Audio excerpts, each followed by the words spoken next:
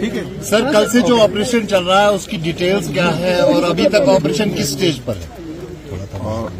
कल security forces जो है आ, कुछ समय से उनको फॉरेन टेररिस्ट का जो अपर रीजन में मूवमेंट का जो इतला थी और उसी असना में यहाँ जो है गागर मंडू जो इलाका है वहाँ पर आ, सर्च ऑपरेशन चल रहा था। तो सिक्योरिटी फोर्सेस की पार्टी को कुछ फॉरेन टेररिस्ट का मूवमेंट दिखा। और इसी असना में उनका जो गोलियों का तबादला हुआ आपस में और उसके बाद ये ऑपरेशन स्टार्ट हो गया। तो अपर रीचेज में है ये गागर मंडी के अपर रीचेज में ये ऑपरेशन चल रहा है। और इस ऑपरेशन के दौरान जो है सिक्योरिटी फोर्सेस के जो अ, दो अहलकारों को जो थे वो शदीद तौर से जख्मी हो गए थे।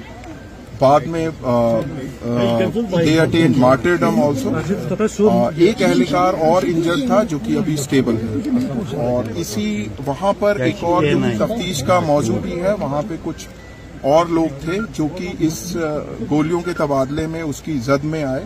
जिसमें एक जो सिविलियन था वो भी शदीद तौर पे जख्मी होके ही सकम टू हिज इंजरीज जो जो दूसरा सिविलियन है वो जेर इलाज है और अभी तक की ताज़ा जानकारी से वो अभी थोड़ा सा स्टेबल है। सर ये जो ग्रुप है इसके बारे में क्या जानकारी है? क्या ये खबर कि डोडा किश्तवाड़ से इन्फिल्ट्रेट करके कश्मीर देखिए ये अभी बहुत प्रीमेच्योर होगा पर क्योंकि ये इलाका जो है डोडा की जो सीमाएँ हैं, बॉर्डर है, उसके उसी के पास में है, ये उसी बॉर्डर्स के काफ़ी पास में है।